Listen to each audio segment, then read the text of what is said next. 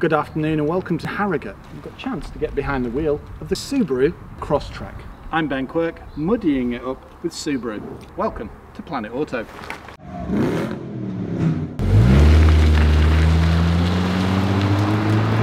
So our adventure starts in the Forester. Essentially, this is our transit vehicle to the off-road track. Not a bad motor to be travelling in. And they just don't skip a beat. Subaru Eyesight, all-wheel drive, look at those red accents.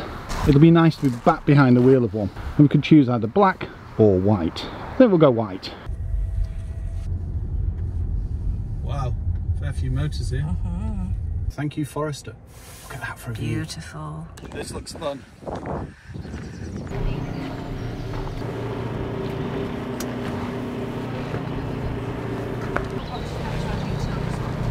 Well, it's a good day.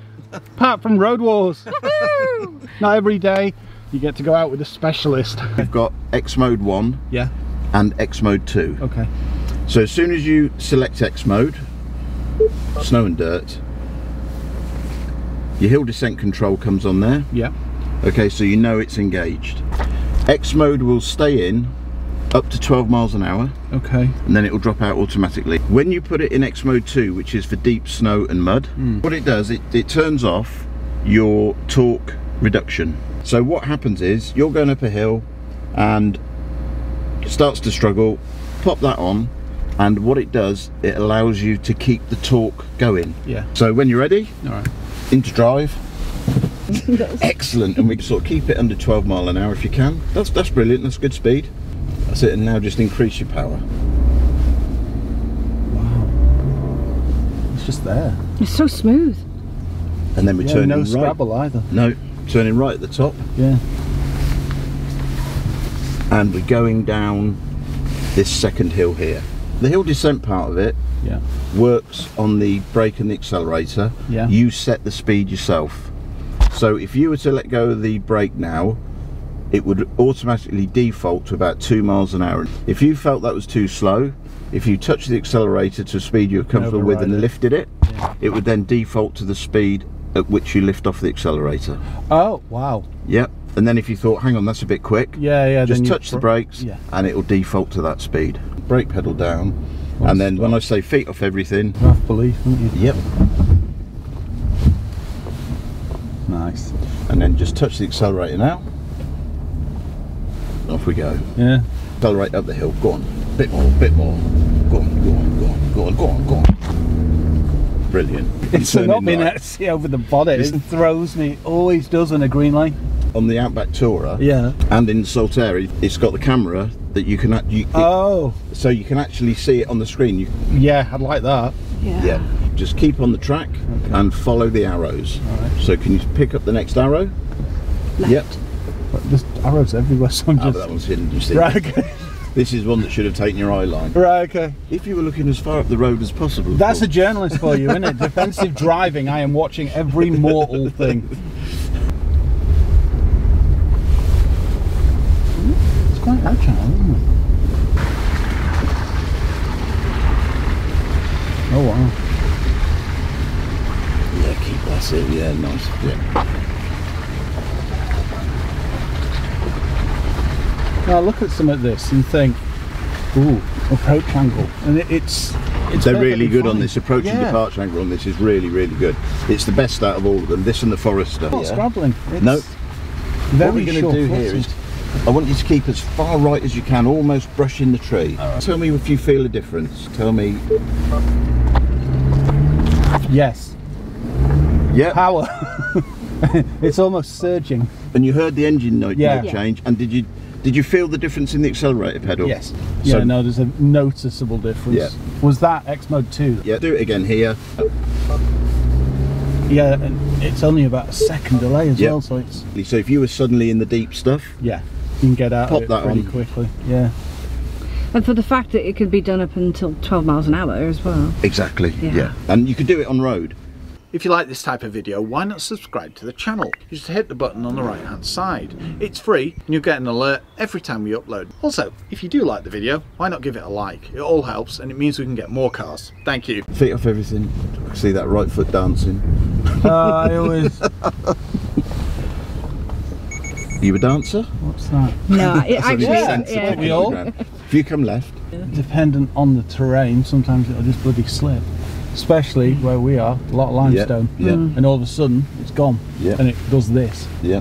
We did that in the Grenadier and we ended up bouncing on the um, rock sliders. Well, That's admit- what they're there for. Yeah, it's a heavy old thing that. Yeah, these feel agile, nimble, you know, the kind of thing you could have a lot of fun. So on this hill, what I want you to do is to hardly touch the accelerator. Yep, So it's, it's going to struggle, okay? It's going to struggle. So hardly touch the accelerator. like that. A lot more.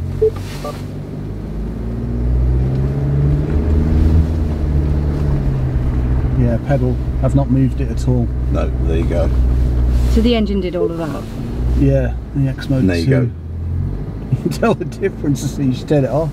The torques. Yeah, exactly. yeah, exactly. Yeah, there's just such a reduction. Yeah. Make sure nothing's coming down that track. Nothing. Touch the brakes. Feet off everything. There you go. Look at that. Flat foot. Yeah. And you know it's braking for you because the hill descent lights flashing. Yeah.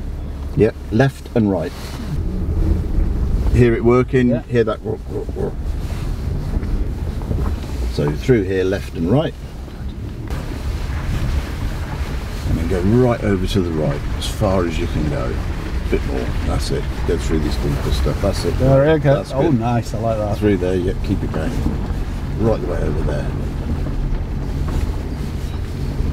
Great stuff. I tend to not do this because of alloys. you never know, do you? foot down to that's it lovely feet off everything and just steer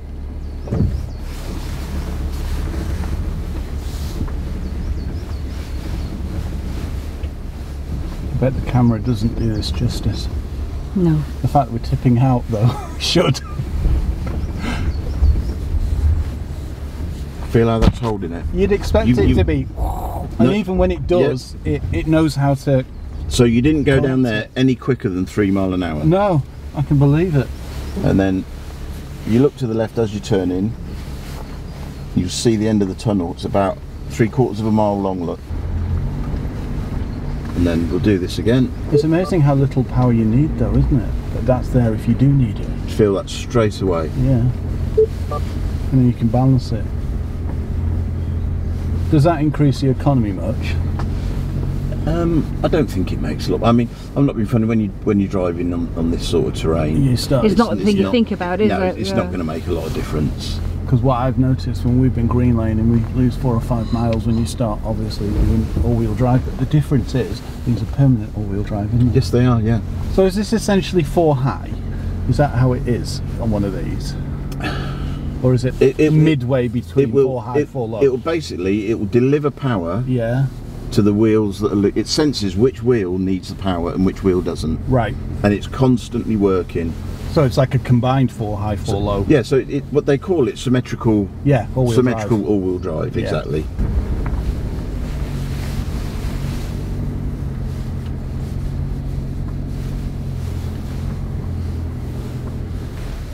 then feet off everything Come on, keep going. There we go. it'll just drop down Just keep your feet off everything until it gets into the bottom now just feed it in That angle, that's unbelievable.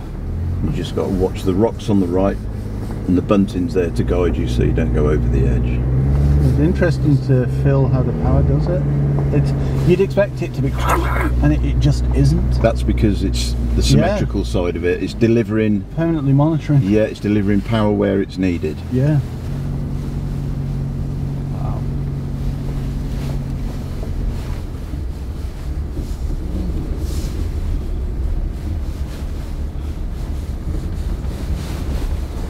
Thing is, it'll do way more than this as well, won't it? Oh yeah, it will. Yeah. And that's what you call capable.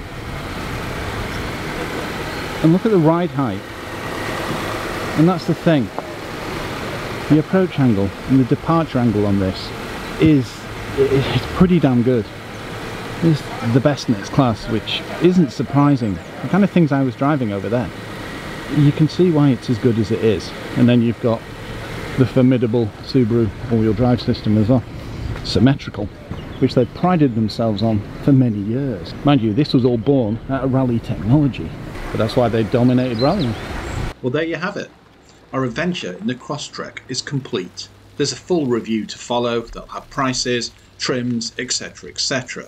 But in a nutshell, 3 year warranty, 80,000 miles, 8 year on the e-Boxer battery. You can get touring or a limited. The touring's £36,345 and the limited £34,345. But bear in mind we'll go into way more detail in the full review. Thanks for watching. And I almost forgot. Thanks very much, Pat, from Road Wars. It was a pleasure.